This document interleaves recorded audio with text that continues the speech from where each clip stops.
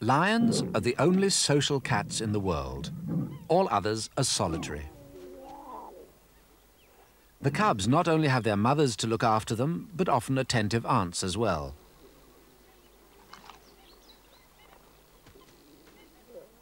Within the pride, there are always companions to play with. A lion has a great deal to learn, including how to kill. First attempts often end in failure.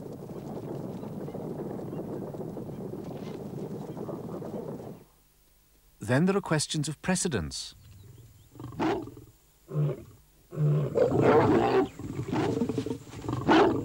An adult male receives a lesson from a more powerful companion.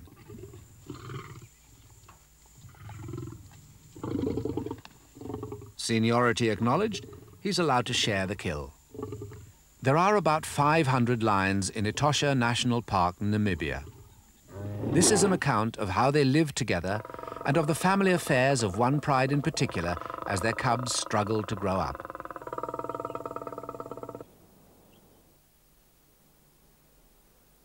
Until recently, Namibia was known as Southwest Africa. It's a huge country lying between Angola and the Republic of South Africa. Namibia's Etosha National Park is almost the size of Wales. It centres round a 75-mile-long, occasionally flooded lake bed called the Etosha Pan. The Ombika Pride, named after one of Etosha's waterholes, is dominated by two immense males, each weighing 550 pounds. One is gold-maned, the other black. So long as they're present, no other males dare to muscle in on Ombika preserves.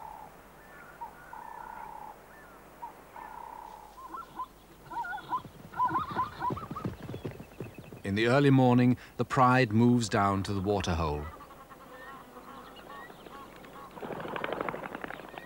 The zebra spot their sagging bellies and recognize that they've just fed, so they're not afraid. They know the lions just want an early morning drink after their feast. You could call Ombika this pride's own waterhole, but they're not necessarily in charge here.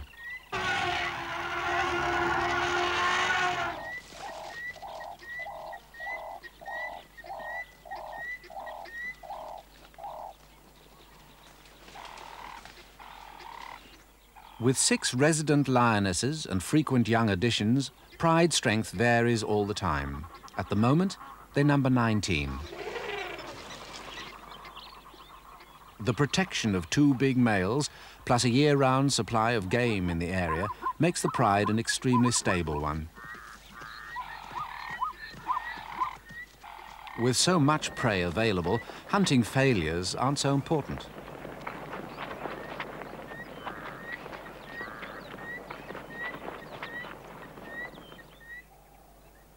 To protect both its hunting preserve and its females, the pride's territory must be constantly staked out by scent marking, usually high up on bushes. The males range for miles, often at night, renewing scent marks as a keep-off warning to other lions.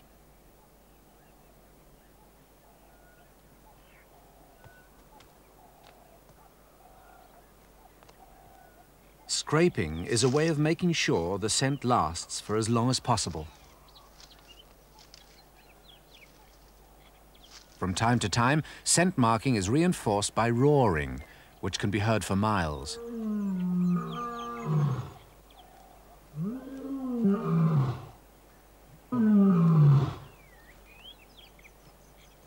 The resident lion samples scent left by an intruder.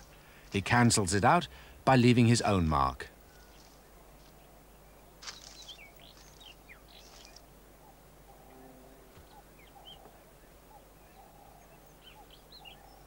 He's plainly uneasy, so maybe there are rival lions in the area. There they are, two very strong intruding males.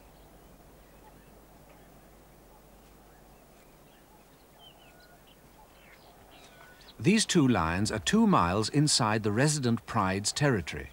Maybe they're about to make a takeover bid for the pride.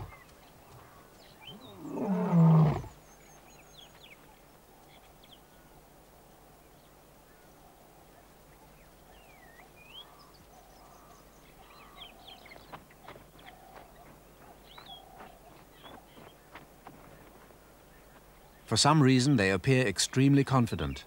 The resident male continues to trot away in front of them.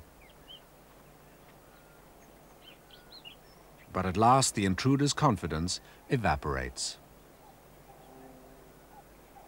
The rightful owner turns, reinforced by a companion. The advance becomes a retreat. It's typical of the way lions conduct their affairs.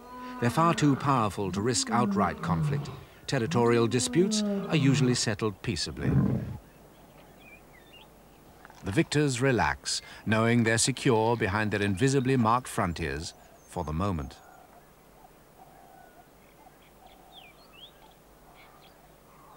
The females scent mark too. When a lioness is in season, this has a powerful message for the males.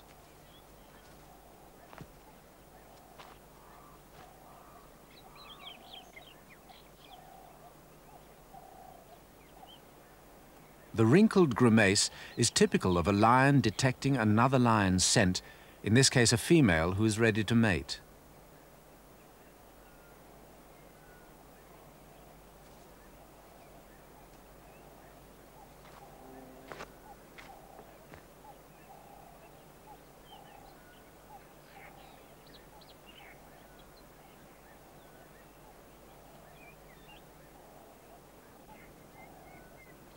The grimace is sometimes a prelude to an advance or a rebuff.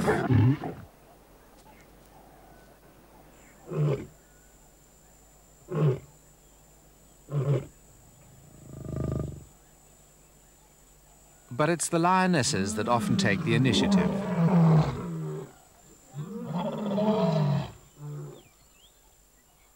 The eternal triangle is a frequent occurrence. In this one, there are two males.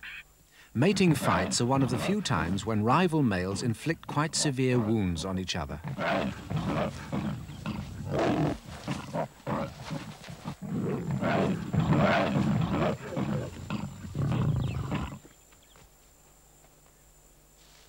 When the fight is over, the female makes the first pass.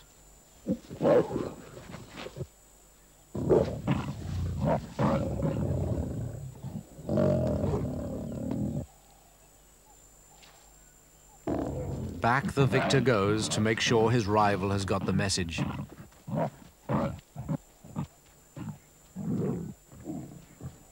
The lioness hasn't been won without some slight facial rearrangement to her suitor.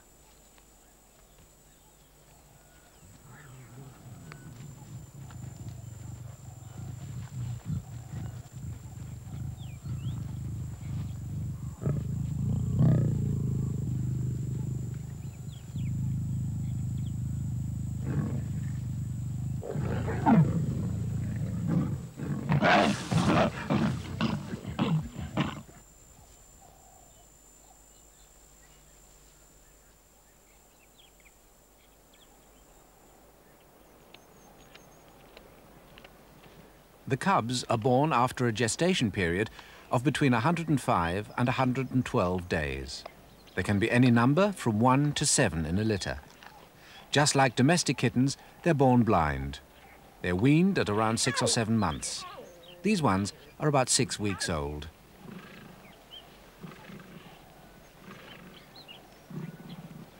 There's no telling who their father is.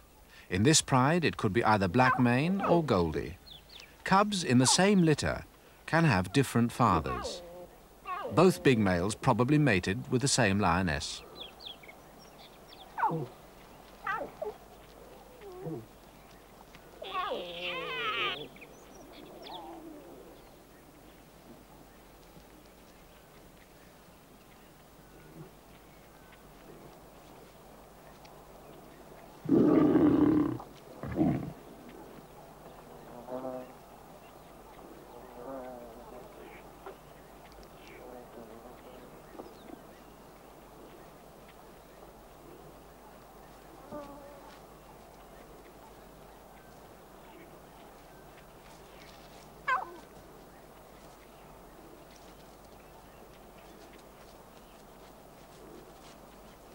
Being born into a stable pride like this one has tremendous advantages for the cubs. The big Pride is an effective hunting group, so the cubs seldom go hungry and the nursing mothers have plenty of milk. With six resident lionesses, there's usually a good number of young companions for the cubs to play with. These three all belong to the same mother.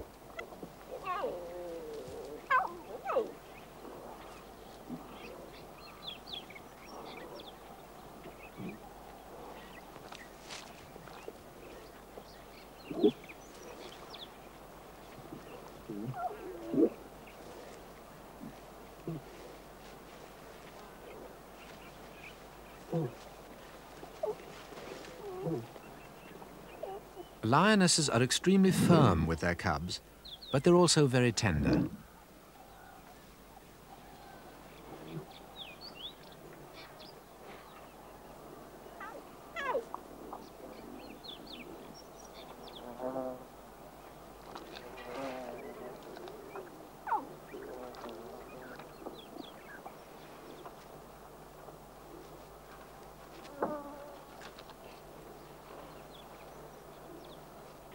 Another advantage of the pride system is that cubs of all ages belonging to different mothers play together. So the smallest cubs learn the rough and tumble of life at an early age and grow up increasingly able to take care of themselves.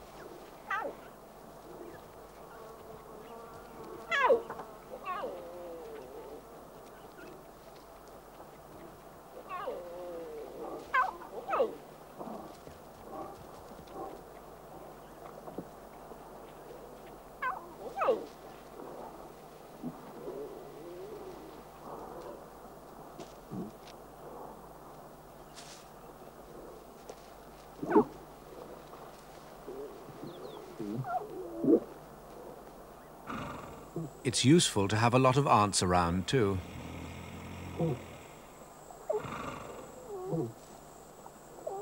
Cubs know that they can appeal to almost any of the lionesses for affection, and sometimes even for milk, if there's another nursing mother in the pride. If they're not welcome, they're politely told to go away.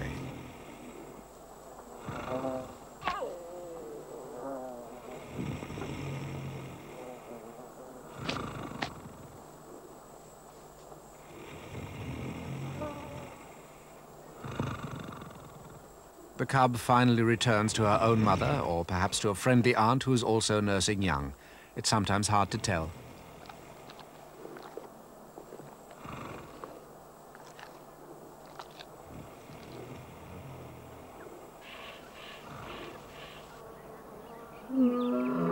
When calling up stray cubs, females usually give a series of low grunts. Here she's roaring. The effect is the same. The cub comes scampering out of hiding to join its mother.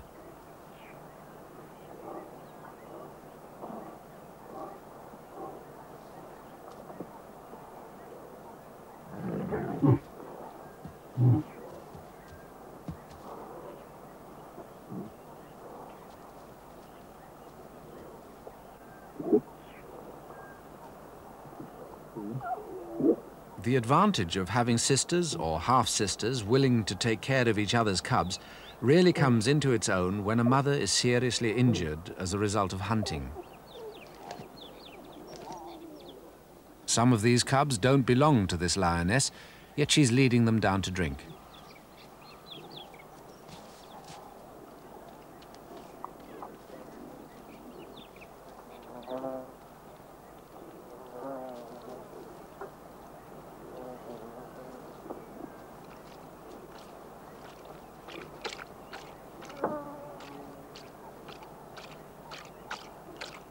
Their real mother lies at the bottom of this small waterhole, mortally injured. Her jaws are smashed, probably by the hooves of a zebra she was trying to bring down. She'll no longer be able to feed herself or her cubs. But the pride system gives them a very good chance of being fed and reared by another lioness. Despite the support given them by the pride, small cubs are quite vulnerable. Hyenas are a constant menace. All lions dislike hyenas, and none more than a temporarily isolated female with cubs. These hyenas are sizing the cubs up. The lioness knows it and moves closer. Even so, the hyenas might still have tried to steal a cub had they not spotted some vultures landing a little distance away. They realized there were easier pickings elsewhere.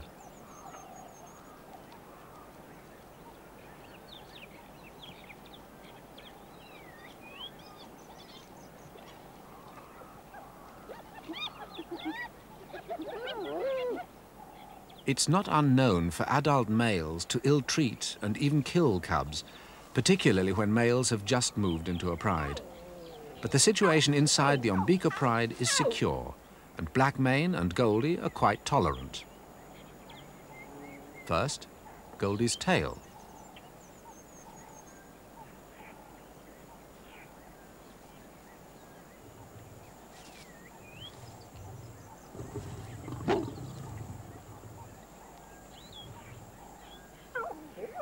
Next, it's the turn of Blackmane's Black Mane.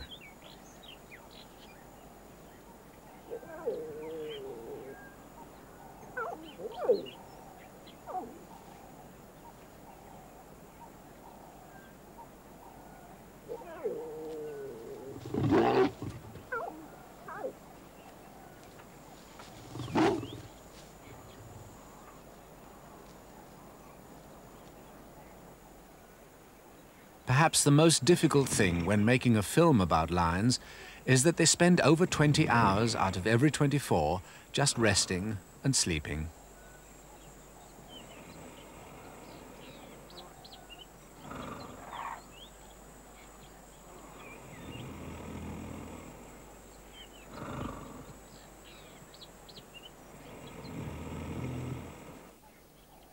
The four hours of activity usually occur around dawn and dusk.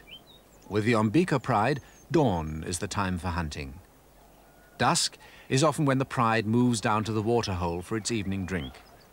This pride, unlike many others, never kills here. Nevertheless, the giraffes prefer to keep them well within view.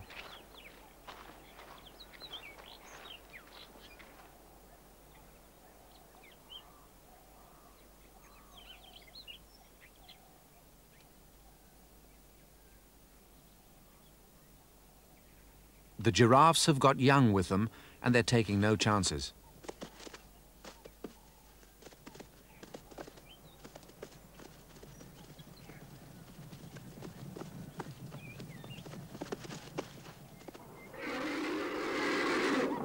As the sun goes down, only the big and powerful, who have nothing to fear, are left at the waterhole.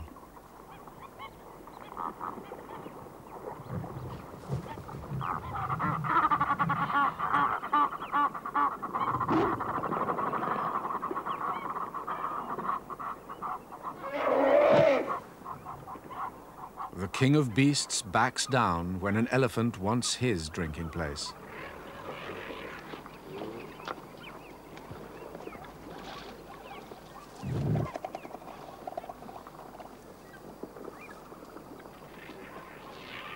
The cubs recognize no such system of rank. All they know is that it's cool, and the cool of the evening is a fine time to play.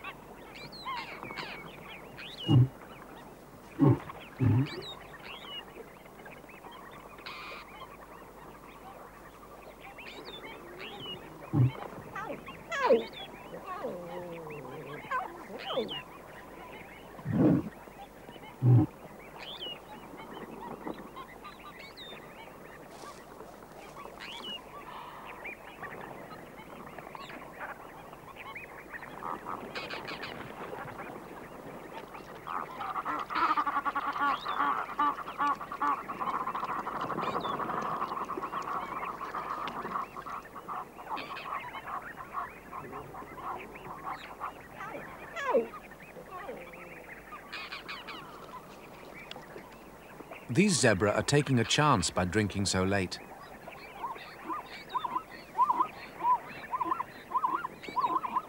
A large pride often gets scattered over a wide area. Dusk is the time for letting any missing members know that everyone else has gathered beside the waterhole.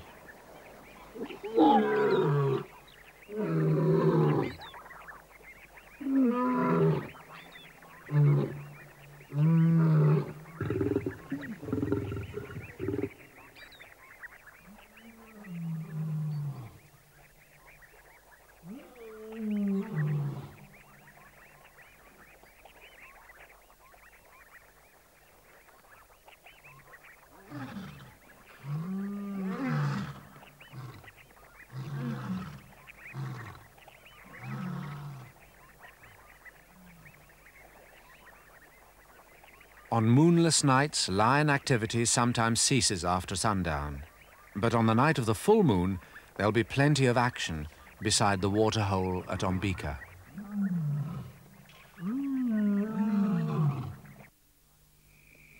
A full moon rises over the waterhole where the 19-strong Ombika Pride of Lions is spending the night. Even in bright moonlight, it would be impossible for an observer to see exactly what happens to the pride during the hours of darkness. But the camera is equipped with an image intensifier. This seizes upon and brightens the merest glimmer of light.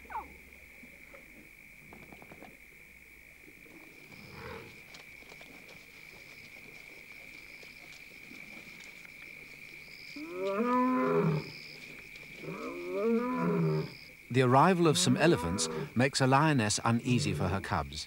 She calls them to her.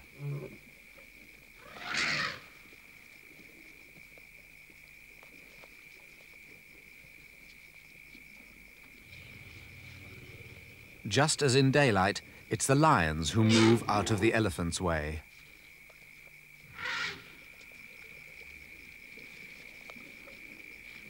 As so often, it's the young elephants who throw their weight about as if trying their strength.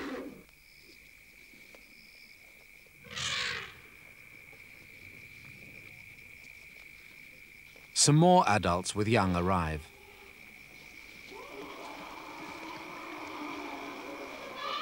Etosha is one of the very few places left in Africa where black rhinos live. During the daytime, they're secretive and seldom seen.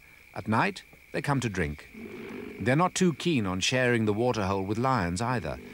Even a big male like Blackmane begins to feel uncomfortable.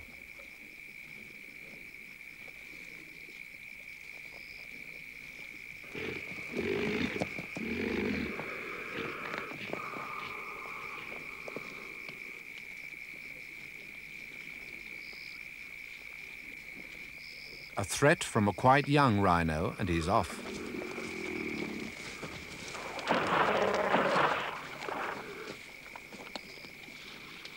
An uneasy truce follows, both sides keeping their distance.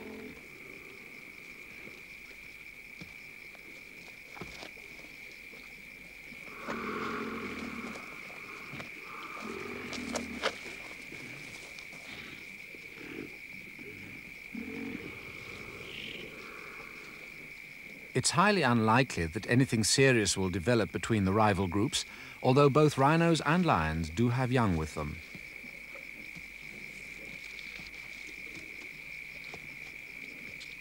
After a time, it's the lion cubs who turn the encounter into a game. A cub plays grandmother's footsteps with a one-ton youngster.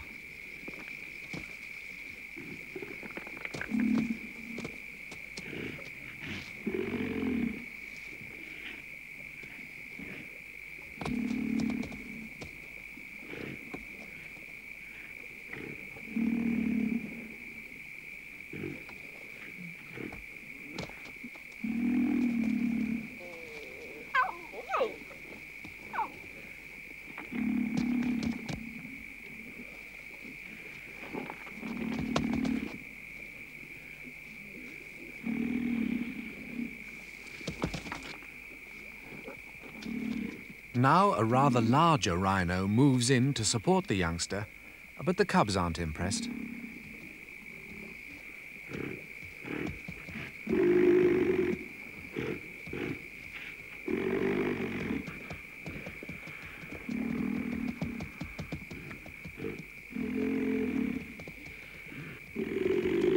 Eventually, when three rhinos get together, the lions decide the game is over. They retire to do what they've really been meaning to do all the time sleep the rest of the night away.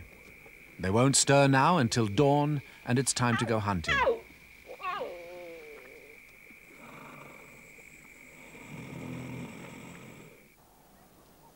The Ombika pride is consistent in its hunting habits. It never kills at its own waterhole, and it prefers to go after its prey around dawn.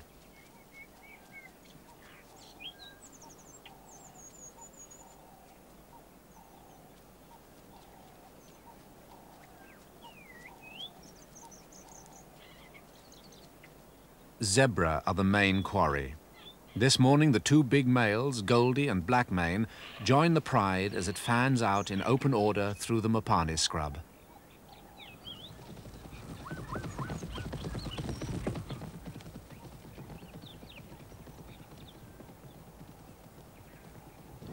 The big zebra herds are wary. Single animals are more easily surprised in the thick cover.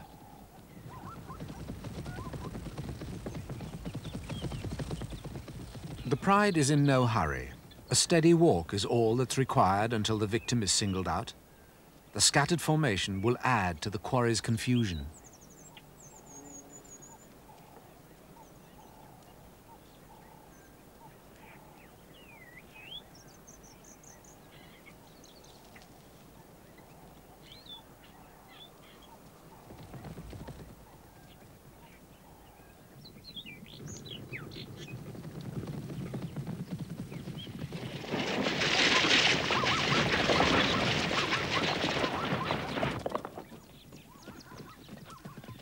The victim is a youngster, not so quick in its getaway as its more experienced companions.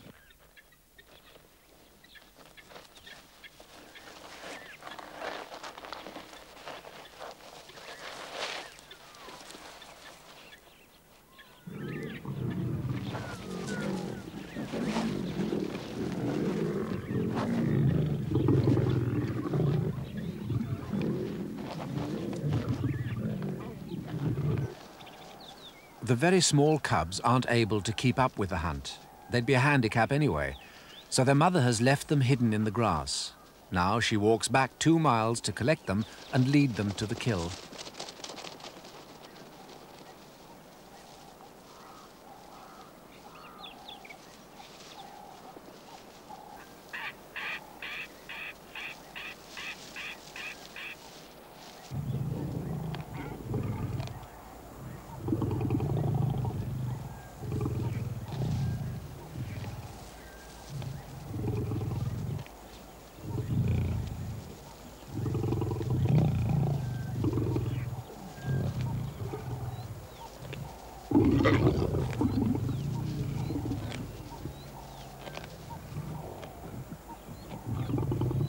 In many prides, very small cubs arriving late on a kill would have to go without or even get driven off. The Ombika pride's territory is usually so well stocked with game that there's seldom a food shortage. So the lioness is quite happy to leave her infants to fend for themselves. But this one will have to be quick. The kill is fast disappearing.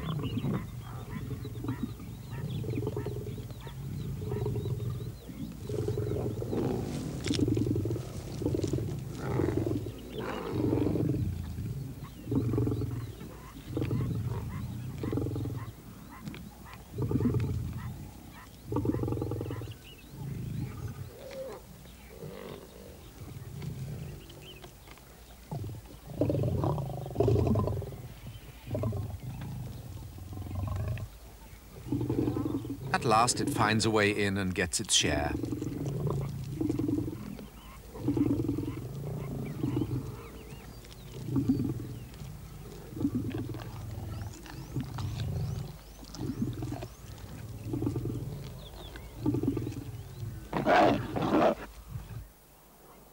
Small cubs have a lot to learn, and one important lesson is not to be a hindrance in a hunting situation. A kudu bull approaches, unaware of an ambush.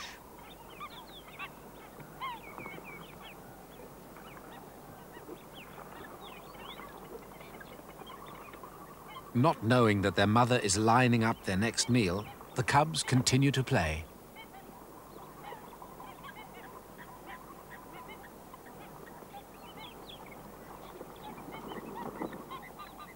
The kudu is alert, but not yet scared. He wants to get to the water.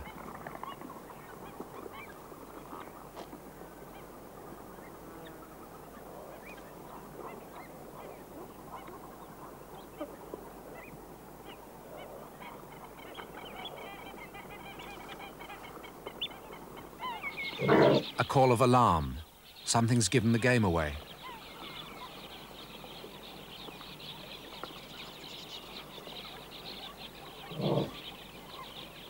And here it is. A third cub comes strolling in at the crucial moment.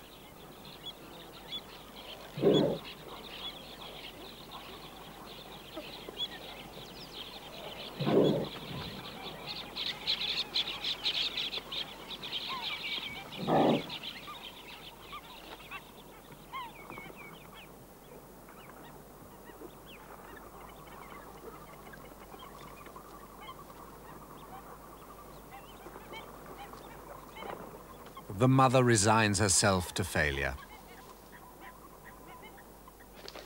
Though very young cubs are tolerated by all Pride members, the mothers often get fed up and have to discipline their children.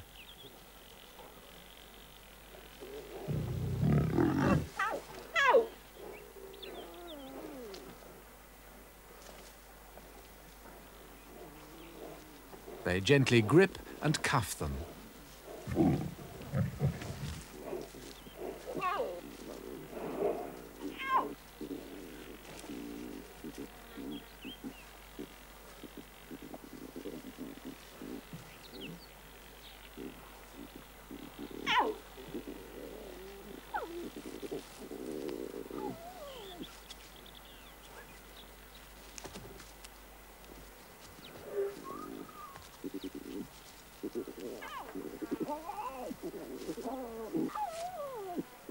She wants to pick it up, but the cub won't cooperate.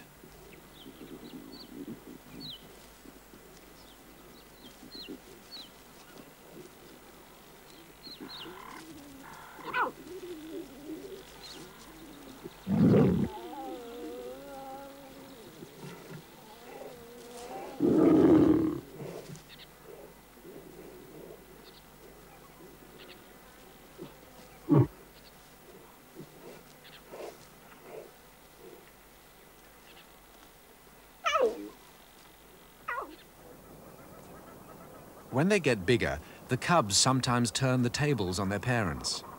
This probably also serves as a lesson in how to trip up prey.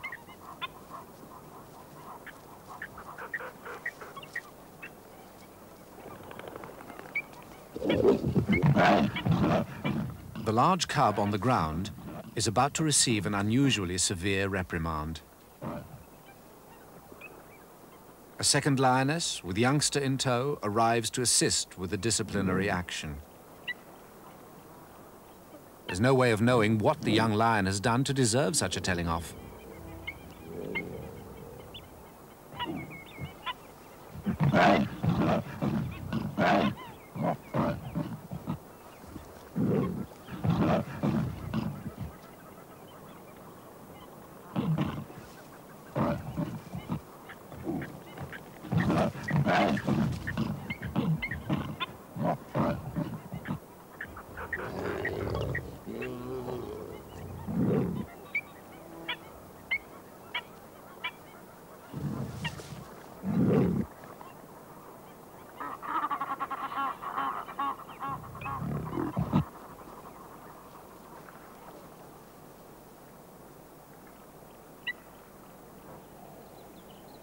If they're to survive, cubs have to find out what's good, or at least possible, to eat.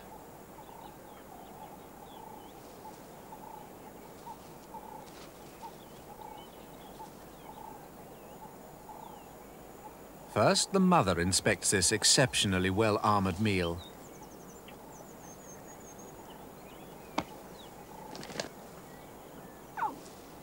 Then she retires to watch the cubs try to find an answer to the problem.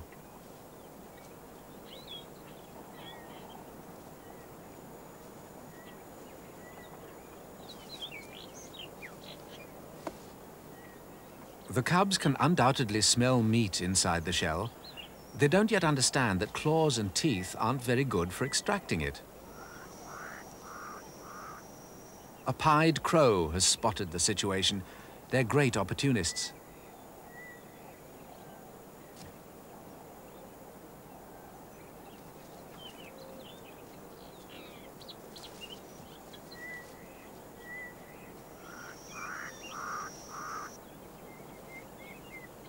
Though this tortoise won't provide a meal, lions do eat a surprising variety of things, including carrion, small mammals such as rabbits and hares, and even, occasionally, fruit.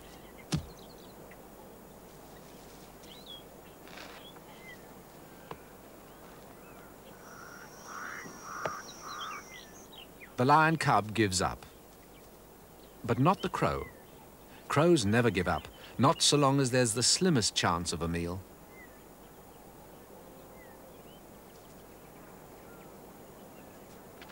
But tortoises have evolved their defenses over many millions of years.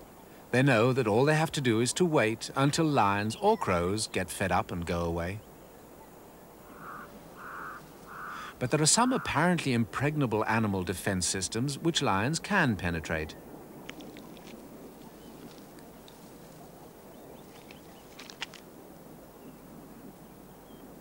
Some lions specialize in killing and eating porcupines.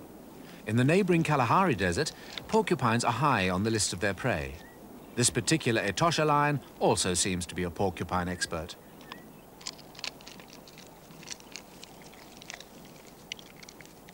Extracting the quills and even crunching them up calls for a special technique. The quills are as sharp as needles. Many a lion has been left with a bad septic wound as the result of getting a quill deeply embedded in its mouth or paw.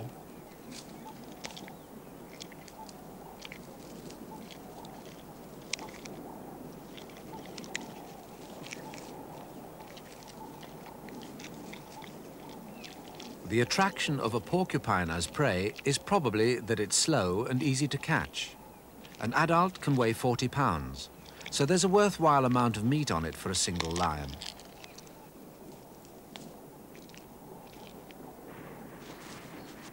When it comes to hunting larger prey, camouflage plays a big part. If you've ever wondered why lions are golden yellow, these scenes provide the answer.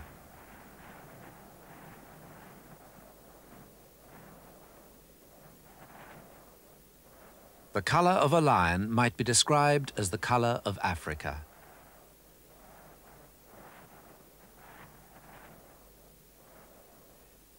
You'd never know they were there unless you walked right into one. This, of course, is what they're hoping that animals like these zebra will do. In tall yellow grass, the zebra's best defense is to move in line astern.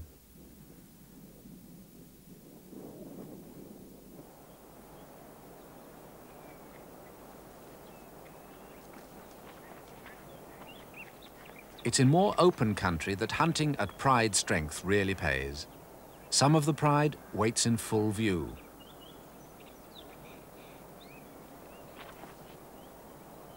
The zebra knows perfectly well that they're there.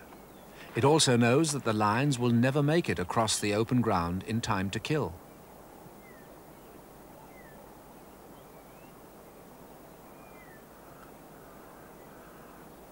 A prudent withdrawal seems the best policy.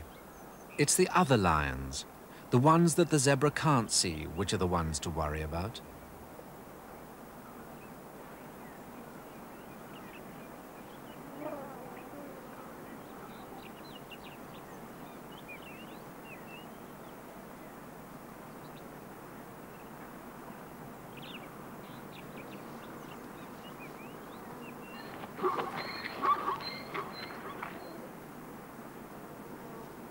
Another party approaches.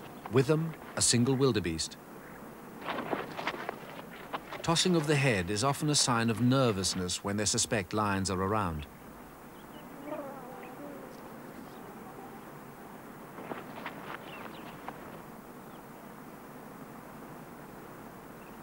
The trap is about to be sprung. This time the zebra are too wary.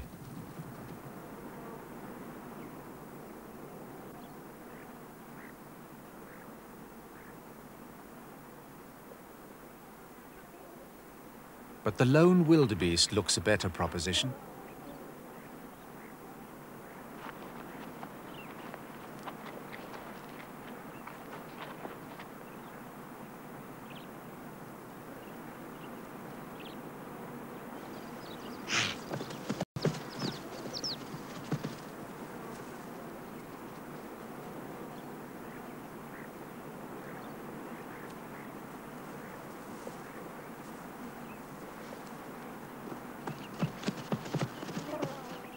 It's amazing how many failures lions have, even when hunting as a pride. The ambush is laid beside a waterhole at the edge of the Etosha Pan. A steady stream of animals can be expected as they come to drink.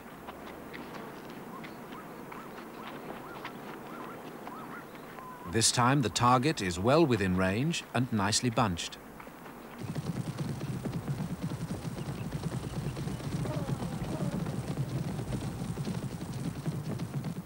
A lioness coming from the other direction made the kill in the cloud of dust.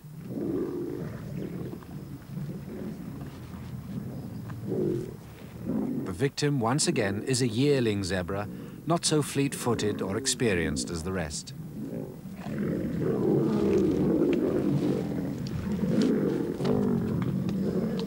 The whole pride of ten lions converges to claim its share.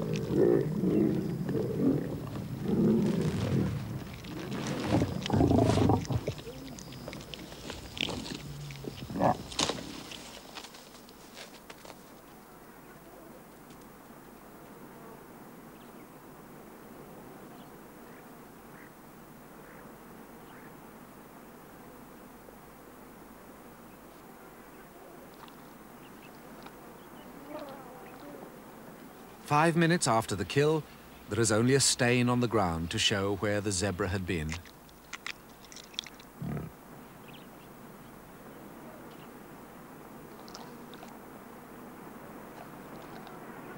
After the feast, a drink.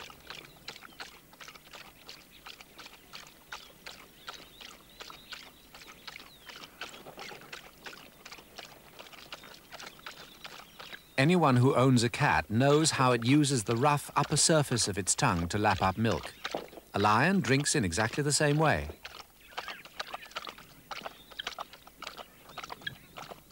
It often drinks about a gallon at a time and takes as much as 10 minutes to lap it all up. In slow motion, you can see the upper surface of the tongue at work.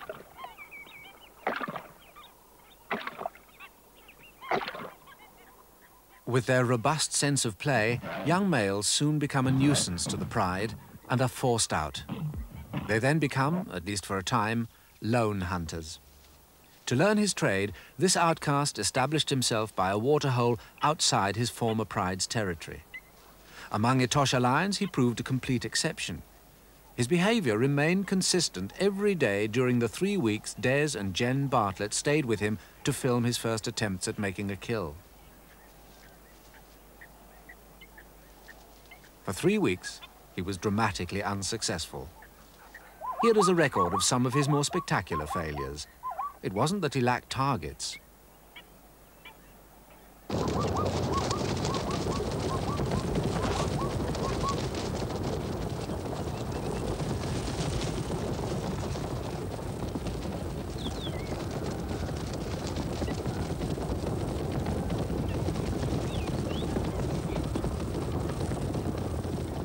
loses them in the dust.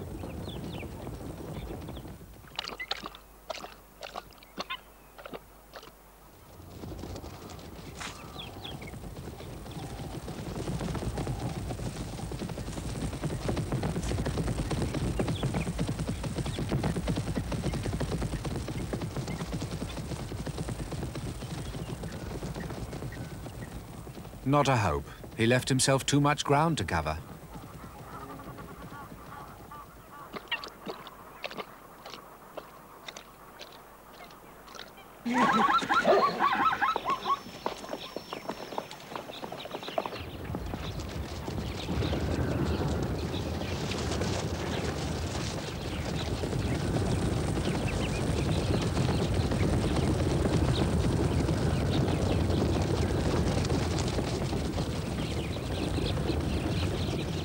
That time he didn't pick his target early enough. Charging in the midday sun is thirsty work, especially when you miss.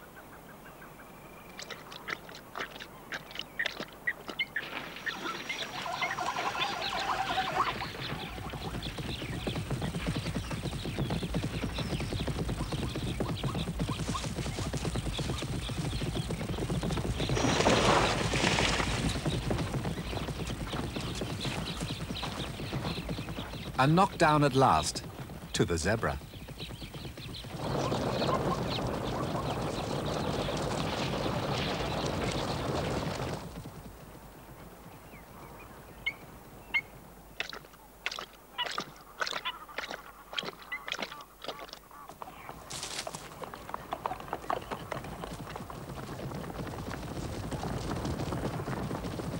Now he's learning. He switches targets.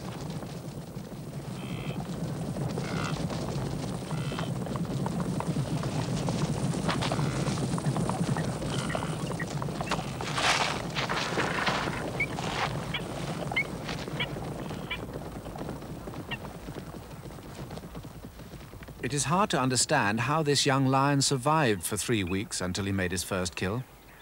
But he was almost certainly scavenging at night off carcasses. He was also hunting small mammals. His instinctive reaction is to drag his kill away where it will be safe from scavengers and even rival lions.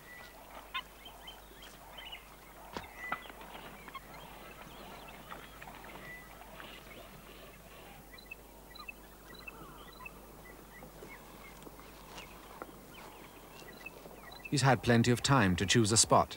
It's an isolated bush which he believes will be safe.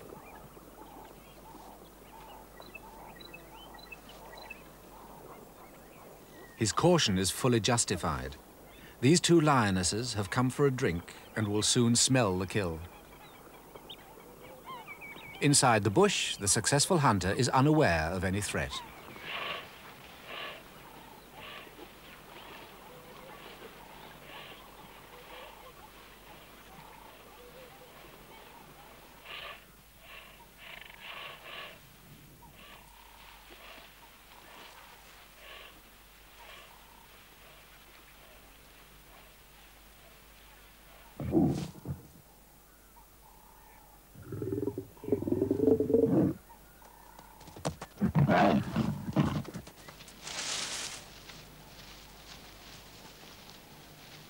The young male has finally grown up.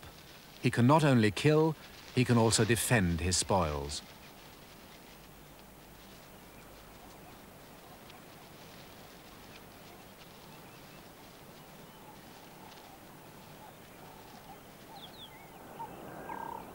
This is only a fraction of Etosha's lions. There are at least 500 of them in Namibia's vast national park. Their future should be secure. But as Namibia approaches independence, conditions are bound to be uncertain.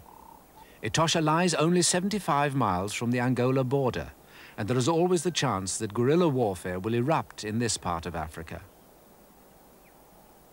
As so often, the future of the lions, as well as that of all the other animals of Etosha, depends on the territorial ambitions of the human species.